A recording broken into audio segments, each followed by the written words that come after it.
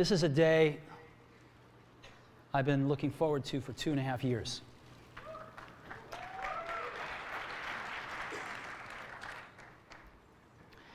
Every once in a while, a revolutionary product comes along that changes everything.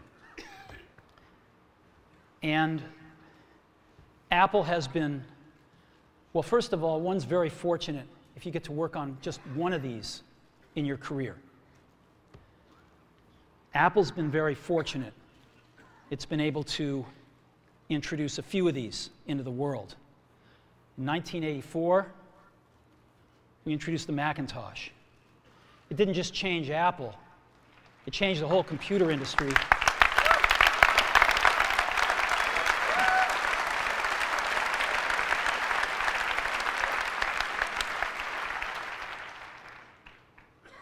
In 2001, we introduced the first iPod. And it didn't just it didn't just change the way we all listen to music. It changed the entire music industry. Well, today we're introducing three revolutionary products of this class. The first one is a widescreen iPod with touch controls.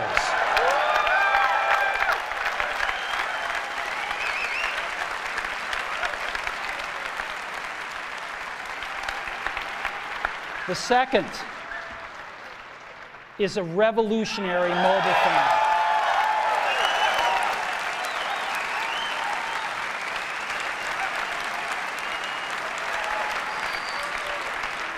And the third is a breakthrough internet communications device.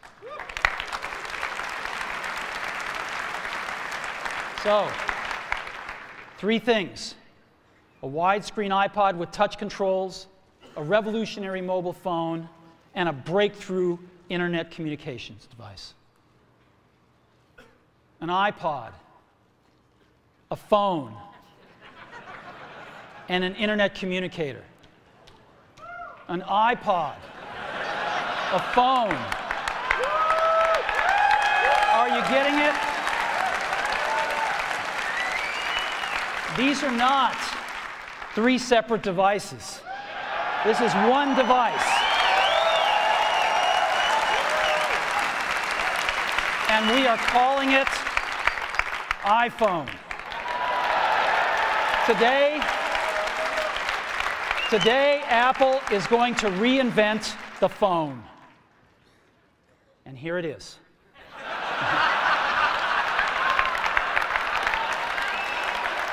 no,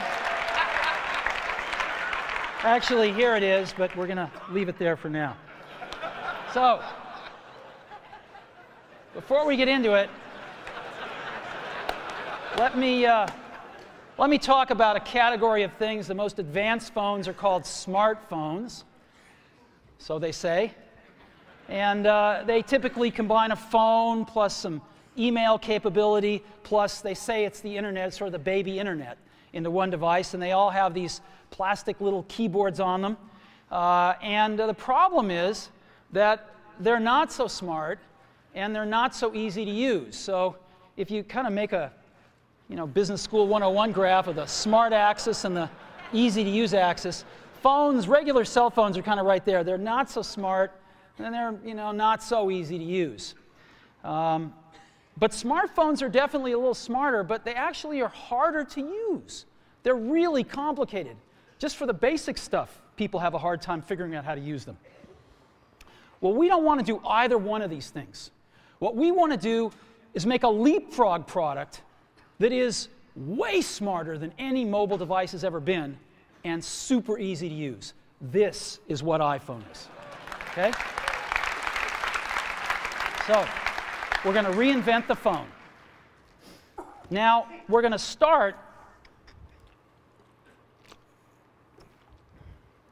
with a revolutionary user interface is the result of years of research and development. And of course, it's an interplay of hardware and software.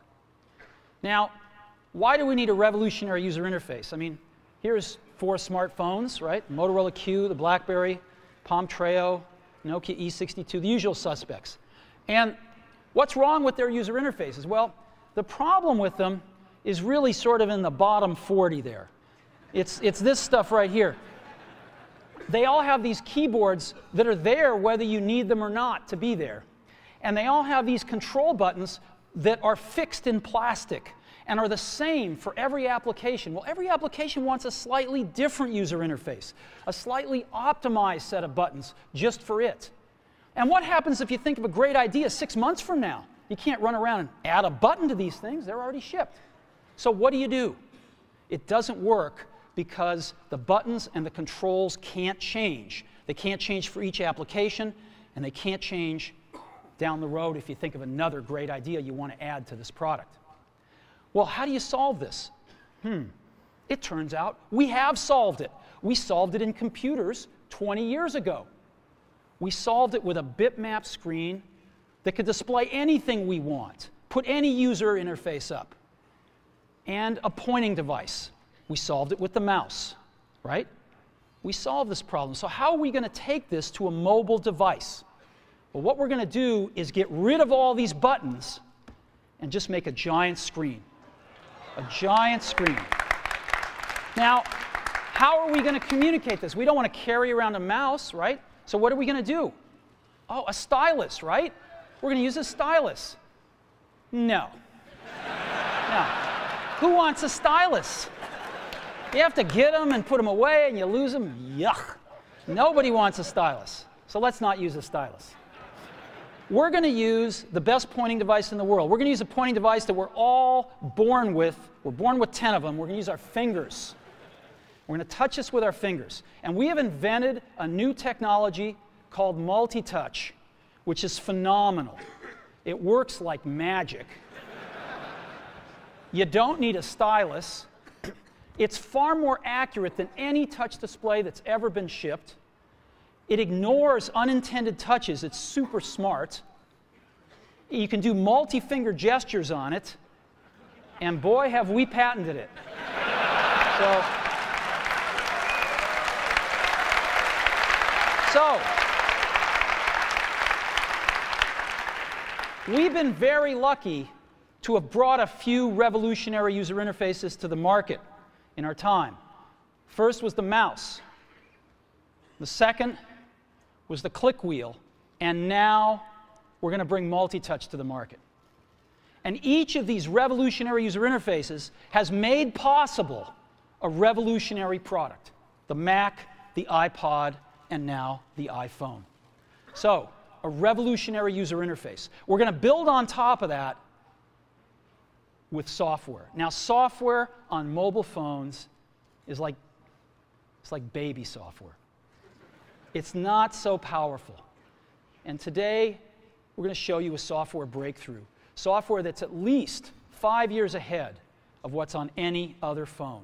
Now, how do we do this? Well, we start with a strong foundation.